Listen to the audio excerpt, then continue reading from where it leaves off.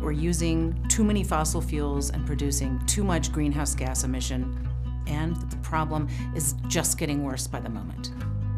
A world dependent on fossil fuels can transition to a clean energy future with technologies that we have now. It's simply a matter of taking a decision to do something. We can solve that problem. Speak. Marker.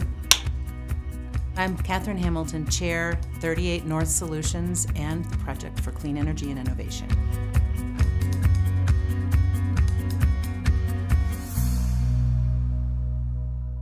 Fossil fuels are creating issues in every aspect of everyone's life. Coal burning plants are next door to houses and buildings that are unhealthy for people to work in and live in. Fossil fuels are in cars that are spewing emissions, and people have to breathe that air.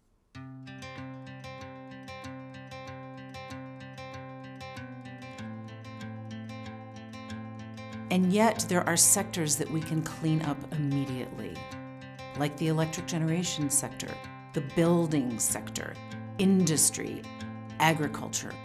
All of these sectors use fossil fuels and yet could become cleaner.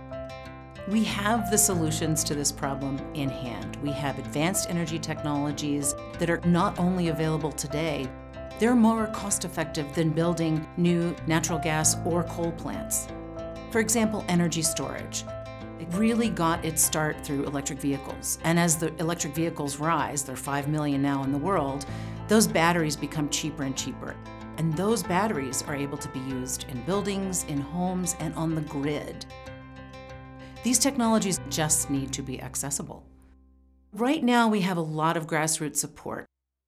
I think the public is getting a much greater appreciation because they're living through climate change the electric grid in California has sparked numerous fires that have shown that our grid is really fragile and that we need to come up with new solutions.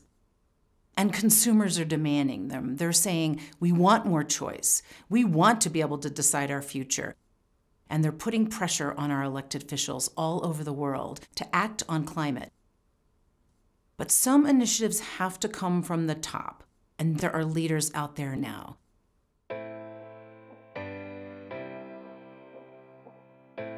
the C40 of mayors are from cities as diverse as Pittsburgh, Amsterdam, Buenos Aires. All of these mayors are contributing to rethinking the way we use energy in cities and make their cities cleaner places to live. Once we have that willpower, we know what the solutions are. We even know what the policies are that we need. We simply have to enact them. Imagine if your home, your office, the street on which you drive are clean areas where you're not breathing smog, where you're able to know that what you use is used for the good of the planet. The transition to clean energy is solvable.